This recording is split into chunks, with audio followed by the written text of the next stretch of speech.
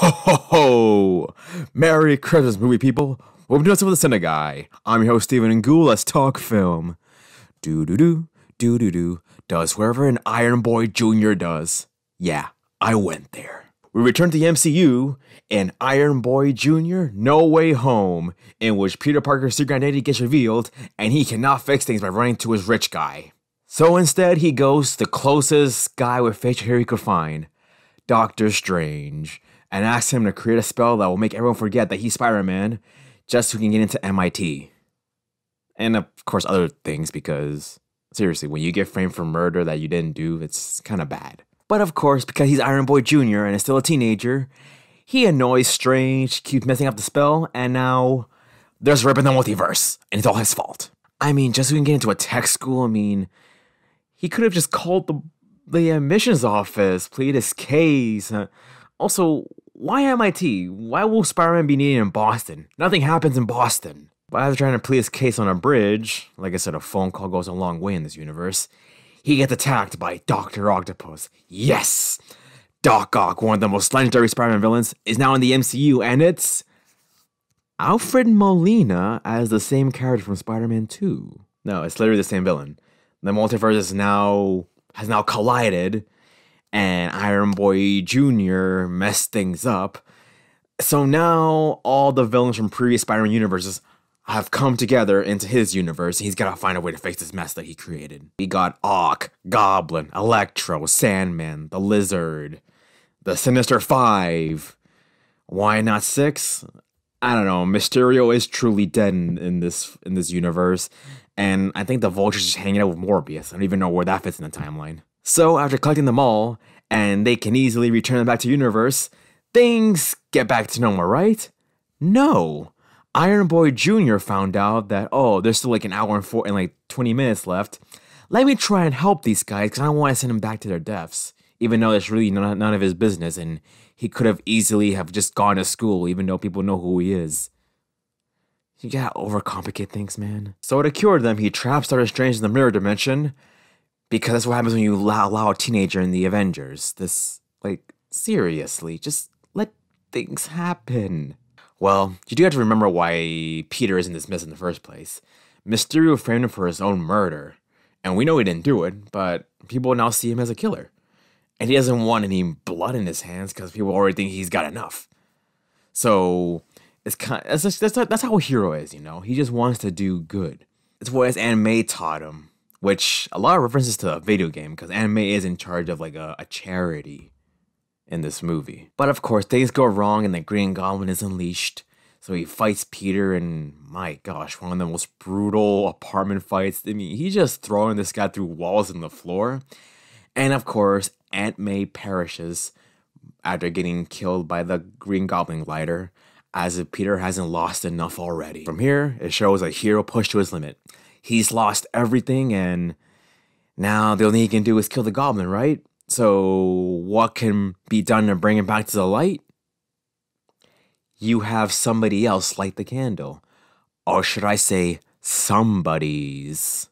Yes, after so much speculation and rumors, Andrew Garfield and Tobey Maguire come back as Spider-Man. It is beautiful and glorious. Oh my gosh. I was just so happy to see them back on screen. Especially Tobey. It's been a really long time. Man, seeing those two together just made my inner child, teenager, and adult self just go crazy. Like their chemistry is so well done that I could have just watched the entire movie of just them having conversations.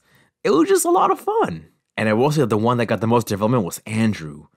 He, he, even though it's been years later, he still came into the universe with the guilt of losing Gwen, Gwen Stacy. So when he swooped down and saved MJ after from falling, he finally forgave himself. And after all the chaos, they managed to cure the villains and send them back home. Easy, right? No. So the original spell gets unleashed, ripping like making causing like rips in the space-time continuum, and a bunch of like other Spider-Man villains from different like universe want to come in, and Strange can't keep them in. So like, how does he save the universe? It's up to Iron Boy Jr. to make the ultimate sacrifice. Peter decides on a new spell. Instead of people forgetting that he's Spider-Man, it's time for them to forget who he even is, as if he never existed.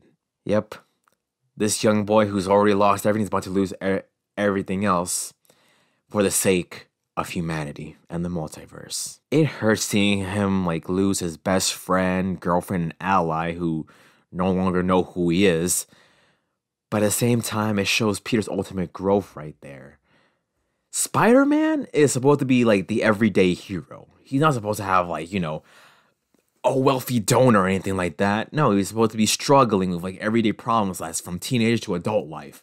He's supposed to be broke, struggling to make ends meet, as well as trying to be a superhero at the same time. So Spider Man is finding the way he's supposed to be.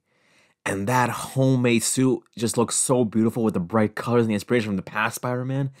Exactly how comic book Spider Man is supposed to be. It's bad enough they took away Uncle Ben from this universe, but now we're here thinking, oh, so this guy is just Tony Stark's little, little, little stepson now? No, he's now officially his own hero the way it was supposed to be since the beginning. Now it's time for him to juggle all that responsibility on his shoulders, which they actually had Aunt May say the great power line, which honestly, that was just like the final middle finger given to Uncle Ben in this universe. Seriously, not even like the little not even that little Easter egg of his like suitcase and Far From Home was was touching. It was like, oh, you lost your suitcase. Oh, too bad. Oh well. So, is this the ultimate comic book movie? I'd say it's the ultimate Spider-Man movie. It has everything that we wanted. Three Spider-Man, nostalgic villains, the acting and everything was just tremendous, like on Tom Holland's part and it was just super entertaining. But wait, we can't do the overall yet. What happened to Venom? Tom Hardy got pulled into this universe too. Where is he? He's in a bar in Mexico trying to figure everything out. But before he can do anything, he gets pulled back to his own universe. But it does leave a fragment of the Venom symbiote back. Which means we will be getting bully Tom Holland very soon, and I look forward to his dance. Which reminds me, they did the Spider Man meme where he's pointing at each other in, in their own fashion right there. But they couldn't have Tom Maguire do his dance, something like that. He couldn't be like, oh yeah, this one time I got possessed and like I did a weird dance as an emo. I wanted to see the bully dance. Overall, it is the perfect Spider movie that will make Stan Lee proud. It is fan service done right and such an amazing conclusion to such a, a fun trilogy that I just cannot wait to see what is in store for Iron Boy I mean Spider Man. So my final rating is going to be 9.7 spells out of 10 Spider Men. Alright, guys, hope you enjoyed this review. Leave a like if this is subscribe in the crew. I sent it for the awesome review. Be sure to follow on the Instagram at Cineguys for more fun reviews. That is at Cineguy Steven. I'll see you there. This is Steven Gulo signing off. Merry Christmas and Happy Holidays.